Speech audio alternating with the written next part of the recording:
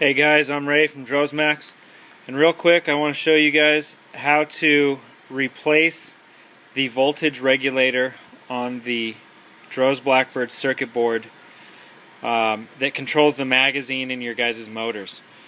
A lot of the times if your motor stops working, um, the gun, you know, the solenoid pulses, it shoots like it should, but the magazine just does not turn on. A lot of the times that's either your magazine cable is broken on the inside and therefore no longer good. Or what also can happen is this component right here on the circuit board, it's a voltage regulator, a MOSFET that controls the on and off of the motor. In your magazine, that can short out if uh, say your wires break and touch each other on your magazine cable. This component will actually almost catch on fire right there. So this video is going to show you real quick on how to replace it.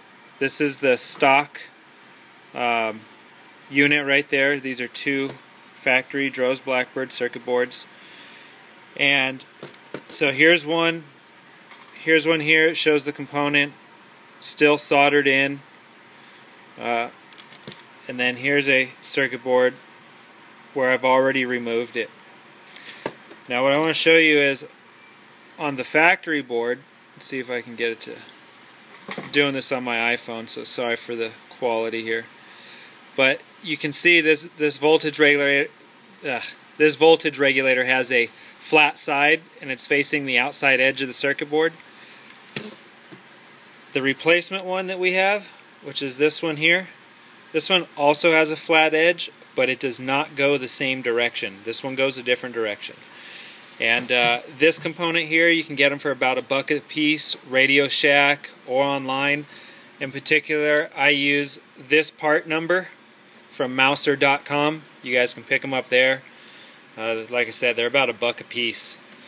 Uh, to, to, get to your circuit board, if you don't know how to take your circuit board out of your gun, uh, I'll put that. I'll put a link to how to take your gun apart in the. Uh, hey. I'll put a link in the uh, description for you guys. Sorry. So there it is. I already removed the component. Here's the component here that we're going to replace. Notice this middle leg, the middle pin on this component. What it's going to do is it's going to go right here to that trace. That one that goes to the pin, I mean to the chip right there. That's where your middle pin is going to go. So let's do it real quick.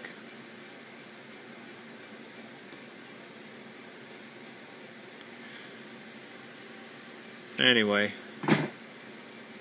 this is why I'm making this video on my cell phone. It's trying to do this and record it once is pain in the butt. But anyway, so there you go. It's in. Notice the way it's pointing. The flat side is kind of pointing off to the left the center pin is going to the rear, going to the chip.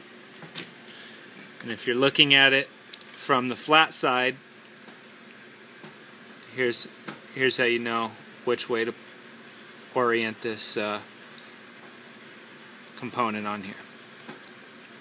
There you go. Lots of views. Just make sure you guys turn yours the same way. If you don't, if you do put it in backwards or not the right way, nothing bad's going to happen. It won't short out the component or anything like that. Uh, trust me, I've already done it and didn't do anything. So you can just turn it around in there until you get it right. No big deal. Alright, if you have any questions on how to do this, feel free to leave them in the comments below. Thanks.